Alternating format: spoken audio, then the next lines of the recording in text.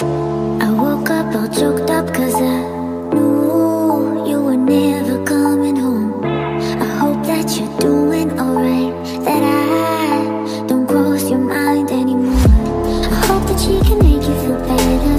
Oh, oh. I bet she can